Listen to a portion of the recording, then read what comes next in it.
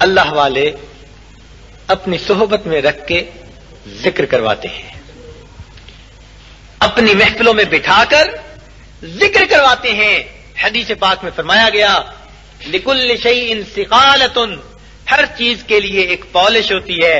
वह सिकालतुलकुलूब ज़िक्र और दिलों की पॉलिश अल्लाह की याद है। जब इंसान अल्लाह का ज़िक्र कसरत से करता है तो इंसान के दिल पे उसके असरात होते हैं। दिल पे रगड़ लगती है।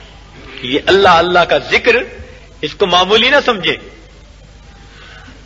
हमारे सिलसिला आलिया नक्शबंदिया के एक बुज़ुर्ग थे, ख्वाजा अबुल हसन खरकानी अलैह। एक मरतबा हज़रत अपनी महफिल में ज़िक्र इसमें जात के फजाइल बयान फरमा रहे थे। ज़िक्र इसमें जात से क्या मुराद? कि अल्लाह अल्लाह का जो ज़िक्र किया जाता है, इसकी क्या बरकत तो आपने फरमाया कि इससे ज़िंदगी में बरकत होती है, सेहत अच्छी होती है रिस्क वसी होता है, इज़्ज़त मिलती है, सुकून मिलता है, गुनाह माफ़ होते हैं। आपने बड़े फजाइल गिनवाए। तो बू अली सीना, जो वक्त का बड़ा फलासफर था, वो भी महफिल में था। उसने भी ये सारी बातें सुनी। उस बेचारे को कल्ब का क्या पता? वो तो अकल को समझने वाला इंसान था। अकल के मर्तबे का बंदा था। तो वो कहने लगा कि हज़रत, ये एक लफ्ज अल्लाह से इतना सब कुछ हो जाता है? फरमाया, हाँ, एक लफ्ज अल्लाह से इंसान के दिल की हालत बदल जाती है। तो वो हैरान होकर फिर सोचने लगा कि अल्लाह हज़रत, फकत एक लफ्ज से ये सब कुछ हो जाता है। तो हज़रत समझ गए कि ये सीधी उंगली से नहीं, टेढ़ी उंगली से घी निकालना पड़ेगा। तो हज़रत ने फरमाया, ए खर तू चेदानी हो गधे, तुझे क्या पता? अब जब भरी महफिल में उसे कहा, गधे, और वो बड़ा नामवर आदमी था तो उसको तो पसीना आ गया। कभी वो तवक्को नहीं कर सकता था कि इतनी भरी महफिल में उसको सब लोगों के सामने गधा कहा जाता। अब जब उसे गधा कहा गया तो उसकी हालत बदली पसीना आ गया, चेहरे के तसुरात बदले। हज़रत ने फरमाया कि हकीम साहेब, क्या हुआ? आपकी कुछ हालत में बदली हुई देखता हूँ। कहने लगा, हज़रत, आपने लफ्ज ही ऐसा कहा। फरमाया, हकीम साहेब, मैंने एक लफ्ज गदा कहा। उसने तेरी हालत को बदल के रख दिया। क्या अल्लाह के लफ्ज में ये तासीर नहीं वो इंसान की हालत को बदल के रख दे?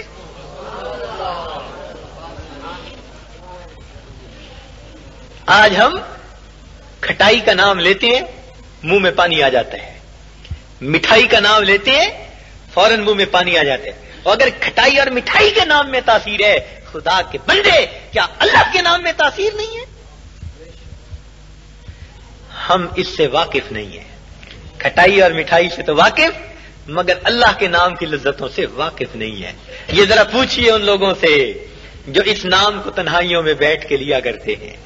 जिनकी तन्हाइयाँ, जिनकी रातों की औकात, इसी नाम की माला जपने में गुजर जाते हैं, उनको अल्लाह का नाम सुनने में और लेने में कितना मज़ा आता है।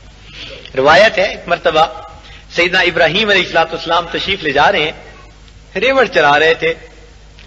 तो आपको एक शख्स सामने से आता हुआ मिला।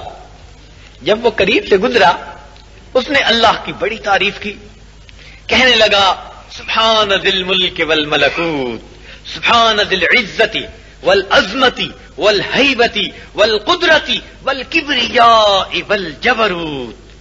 जब उसने ये अल्फाज कहे और सईना इब्राहिम इस्लाम ने अल्लाह रब्बुल इज़्ज़त की ऐसी तारीफ़ सुनी तो आप तो उसी वक्त ही दिल दे बैठे, खड़े हो गए, उसे रोका, फरमाया है भाई, तूने ये जो कुछ कहा जरा एक मरतबा ये बात और कह दो। उसने कहा, जी, इसके बदले में कुछ देना पड़ेगा। फरमाया, बहुत अच्छा ये मेरा आधा रेवड़ तुम्हारा हो गया, मगर ये बात एक दफ़ा फिर कह दो। उसने फिर अल्लाह की हमद बयान की। कहने लगा सुबहान अजिल मुल्क वल मलकूत सुबहान अजिल इज्जती वल अजमती वल हैबती वल कुदरती वल किबरिया वल जबरूत। जब उसने फिर बात कही फिर आपने कहा कि भाई, जरा एक मरतबा ये बात और कह दो। उसने कहा, जी, अब इसके बदले क्या देंगे? फरमाया, बकिया आधा रेवड़ भी दे दूँगा। उसने फिर एक मरतबा कह दिया। जब उसने फिर कहा, और अल्लाह के नाम की तारीफ़ सुनी दिल में अजीब मस्ती पैदा हुई। आप फ़ौरन कह उठे कि, भाई, एक मरतबा ये बात और कह दो। वो कहने लगा कि, अब आपके पास रेवड़ भी नहीं आप मुझे इसके बदले क्या देंगे? फरमाया, मेरे पास रेवड़ तो नहीं, मगर तुझे रेवड़ चराने वाले की ज़रूरत होगी। मैं सारी ज़िंदगी तेरे रेवड़ को चराऊँगा तो जरा मेरे रब की तारीफ़ फिर कर दे। उसने कहा, इब्राहिम इस्लाम मुबारक हो, मैं तो अल्लाह का फरिश्ता हूँ, मुझे अल्लाह रब्बुल इज़्ज़त ने भेजा। जाओ, मेरे खलील के सामने जाकर मेरा तस्करा करो, मेरा नाम लो, और देखो वो मेरे नाम के क्या दाम लगाता है।